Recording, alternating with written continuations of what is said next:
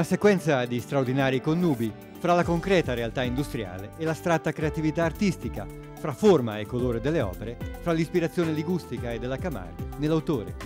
È la mostra di Rino Valido Arte e Industria, astrazione dall'identità di fabbrica, alla Fondazione Ansaldo di Villa Cattaneo dell'Olmo, curata da Luciano Caprile.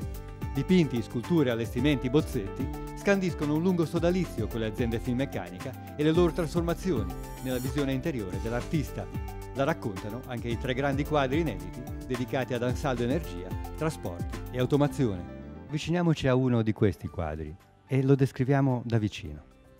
Allora, eh, questo si chiama, il titolo, ovviamente detto da me, eh, si intitola Finestra siderurgica perché è intitolato a questa società che si occupa di automazione siderurgica. Quindi interpreto eh, automazione e astrazione quasi sullo stesso piano. Di conseguenza che cosa vedo? Io vedo sostanzialmente una sorta di colata rossa, questa colata rossa che in qualche modo attraversa questo passaggio diciamo, di, di, diciamo, di risultato di, di esecuzione eh, materiale e, e, in qualche modo viene rappresentata attraverso così emblematicamente dei computer, dei bottoni che in qualche modo l'uomo usa in modo molto più snello e molto più facile. La finestra è l'elemento forse più indicativo e più facile eh, diciamo, da riconoscersi e, questa zona, diciamo, questa campitura azzurra è come se io guardassi al di fuori e vedo questa, questo risultato tecnologico. Nato a Varazze Rino Valido, che qui espone anche altri lavori, frutto della sua libera ispirazione artistica, dopo la scuola grafica e i corsi all'Accademia, ha iniziato come grafico, fotografo e cromista. Il cromista è quello che scompone un'intensità di grigio per un'intensità di colore, una volta si usavano queste terminologie, avevamo quattro matrici diciamo, fotografiche neutre che erano dei retini grigi e si scomponeva questo grigio in funzione di un'intensità di colore. Ed era molto interessante, ora tutto questo purtroppo è scomparso, però per fare questo mestiere tanti anni fa occorreva avere un'infarinatura di disegno e sapere che cos'è il colore soprattutto. Una maestria con il colore evidentissima anche nelle geometrie e nelle tonalità delle sue campiture. Valido per qualche anno dipinge ed espone. Poi nel 1978 il primo incarico per Finsider, allestire il suo stand alla Fiera del Levante, lo fa innamorare del design. Il mondo del des- dell'industria del design era vincente perché mi proiettava in un mondo molto più ampio, molto più interessante e, e diciamo da scoprire. Eh, la pittura aveva dei momenti anche di stallo per certi aspetti perché ci sono le mode, ci sono le appartenenze, e allora mi innamorai di questo, andai avanti su questo. Ovviamente dovetti in qualche modo scindere un pochino la... E quindi le mostre vennero meno, le mostre personali vennero meno e mi ritrovai a, diciamo, a collaborare con queste grandi aziende. È un suo mentore, lo scomparso professor Dino Carlesi, a risvegliare in lui la passione per la pittura. Negli anni 90 gli propone di fare insieme un libro. Per lui non è un periodo facile, però accetta trovai la, la forza e, e, e, il modo per poter realizzare questo libro insieme al professor Garlesi e nacquero, iniziarono di nuovo le mostre a tutto tondo artistiche. Sì, no, però non ho mai abbandonato poi ovviamente la, la, società, cioè le società con cui ho avuto rapporti in passato. Adesso è una collaborazione insieme.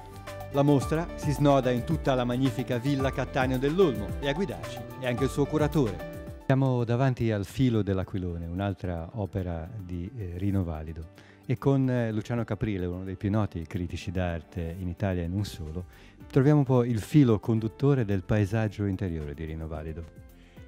Sì, eh, forse Rino Valido l'ha già detto, ma questa, questo paesaggio, questa folgorazione, questi colori divengono eh, dall'aver scoperto la Camarga a un certo punto eh, fino a quel momento lui era un, un, artista abbastanza figurativo, in quel momento i colori della Camarga questo, eh, gli, gli, eh, gli, suggeriscono, eh, gli, eh, fanno, oh, fanno, entrare nella, nella, nella, sua pittura questi colori, questi colori che poi lui trasferisce nei, nei dipinti e eh, portando questo paesaggio che diventa un paesaggio ideale, un paesaggio interiore dove tutti i visitatori, quelli che, che vedono le sue opere, eh, ritrovano e, e possono fare proprio. La tecnologia e l'astrazione artistica forse possono essere un buon binomio.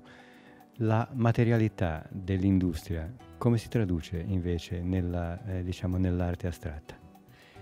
Ma eh, ecco, l'artista è bravo quando riesce a tradurre queste cose, in, a tradurre ecco, il messaggio tecnologico, chiamiamo così, un messaggio artistico, e lo vediamo in Rinovalido, quando una forma, una forma eh, tecnica, tecnologica diventa, una, diventa, un colore, diventa un elemento, diventa un elemento eh, come di collage.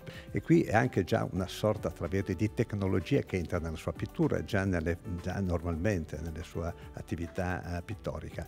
Eh, a maggior ragione lui riesce a fare questo, questa manovra, ad, ad attivare questa peculiarità eh, quando quando eh, deve intervenire con l'industria. L'esposizione, aperta sino al 16 ottobre e visitabile nei feriali su prenotazione, è anche un modo per far conoscere di più la Fondazione Ansaldo. Nata nel 1999 con soci Finmeccanica, provincia, comune e regione e la partecipazione di molte altre istituzioni e realtà, è il fulcro della memoria e del patrimonio storico, culturale e scientifico di Ansaldo e di tutte le maggiori imprese di Genova. Abbiamo migliaia di filmati eh, che abbiamo anche presentato lo scorso anno con un'iniziativa che si chiama Cinema Industria.